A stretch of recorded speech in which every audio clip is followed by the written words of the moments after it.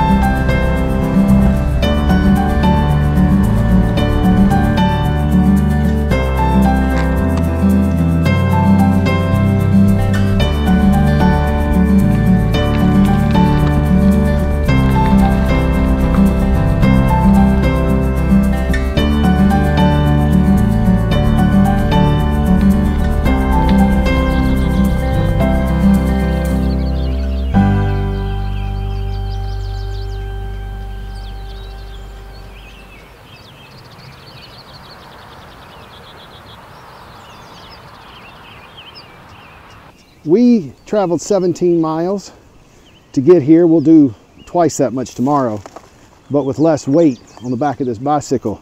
I got a trailer right here, and I hauled me a Dutch oven on the back of that trailer. Tell you what, that was no joke. But when you're hungry at the end of the trail, that's what it's all about. I'm gonna set camp up real quick and get my fire started because I am hungry. And look at here. In that Dutch oven, it's got my salt and pepper. It's got my potatoes, got some breadcrumbs. We're gonna make ourselves a little pork roast. We're gonna add little potatoes and some other breadcrumbs in there. We're gonna make this thing special. I tell you what, it's been a long day. It's about 10 o'clock at night and I'm in a campsite. I don't want to be too noisy. What we're to do is we're to get our fire started.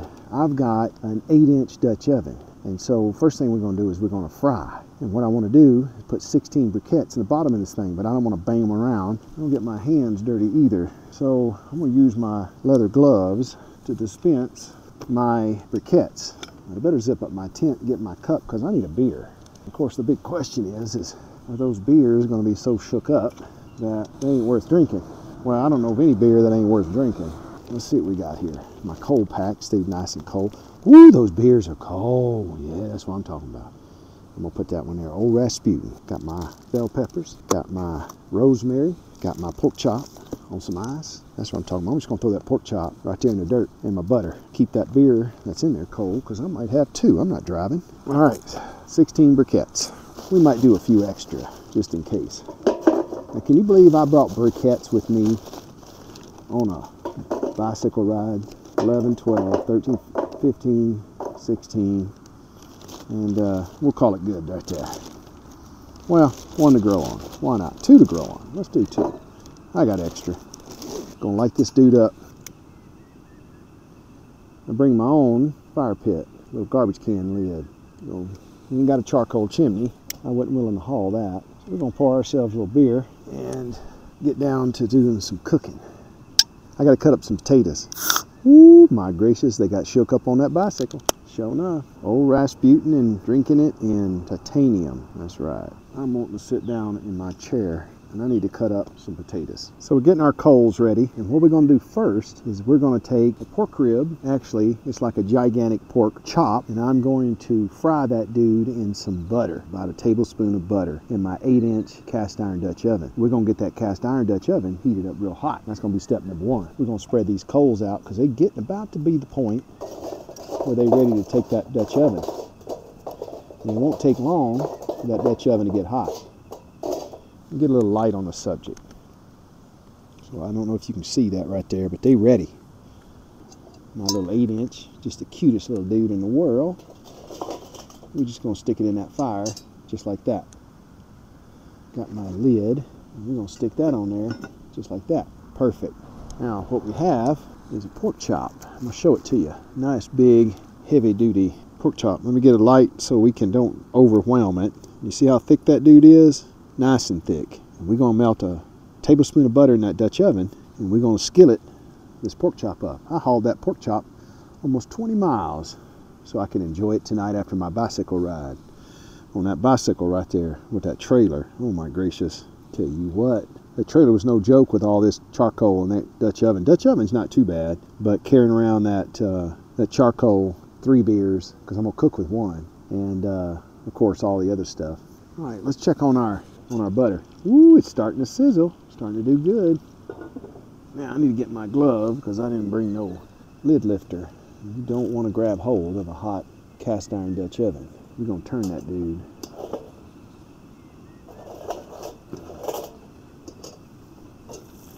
Yeah, it's doing real good. Let's look down in there and see what's going on. So you see that butter in there?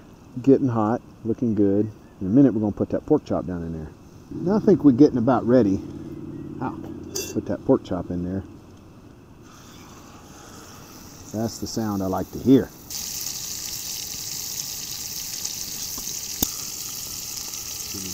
I got some salt and pepper. I'm to season that dude just a little bit. I've got a little rosemary too, fresh. Imagine that. What do you think of that? Oh my gracious, that smells good. I didn't brine this pork roast or pork rib or gigantic pork chop before I came out, and that's okay.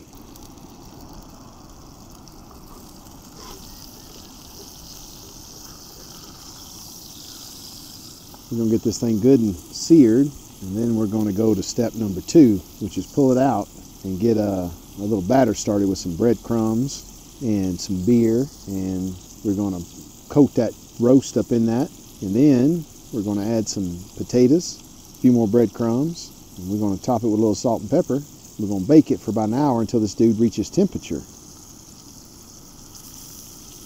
I think we got a pretty good color on it. I think we're going to go ahead and add our breadcrumbs and beer, make ourselves a little batter to roll that in. We're going to remove that little stem of rosemary. There'll be some rosemary left over, definitely that flavor. We're going to bring our lid nearby, put it on.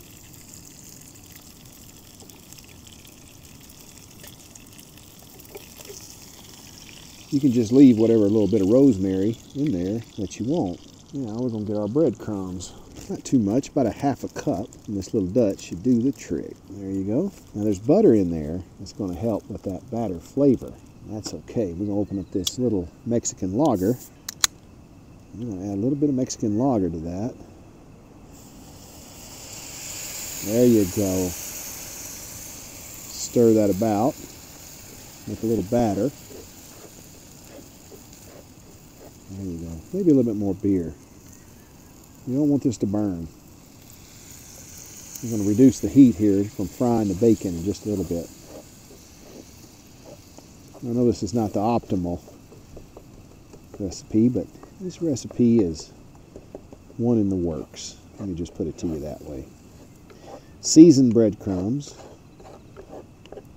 Little rosemary that we cooked in there. Beautiful. We're going to put that pork chop back in there. We're just going to grab hold of it. It's hot. Woo, gracious. Woo. We're just going to roll it around just a little bit. Just flip it over in there. Let it kind of get coated in them breadcrumbs. Just like that. So we are still cooking in the dark, but I think we got our food under wraps. Here's some light on the subject. Our little 8 inch cast iron Dutch oven Let me give you a gander real quick. Pick it up with this one. Oh my gracious, look at that. With the light in one hand. Oh my gracious, I think I'm ready to take it over to the table and eat that we're gonna go ahead and have ourselves a bite of dinner. I tell you what, it's uh, it's a neat thing cooking with Dutch ovens. It really is. The uh, the thing is, is even though I hauled it out here on my bicycle, uh, it's so worth it. It's just something about doing this. You could take out here with a little jet boil type of arrangement, a little propane tank, probably some dehydrated food, but where's the fun in that? I mean, this is fun tell me I'm lying. It's just it's just fun. So I'm going to sit out here in the dark under the stars, and I'm going to have myself a little bite of food, a little bite of pork chop, potatoes, a little bit of uh, breadcrumbs to season, and we're going to enjoy the stars and uh, just you know spend some time doing our thing. Turn off this light and see if you can get a little darkness. Ooh. Hey, if you're afraid of the dark, just uh, close your eyes.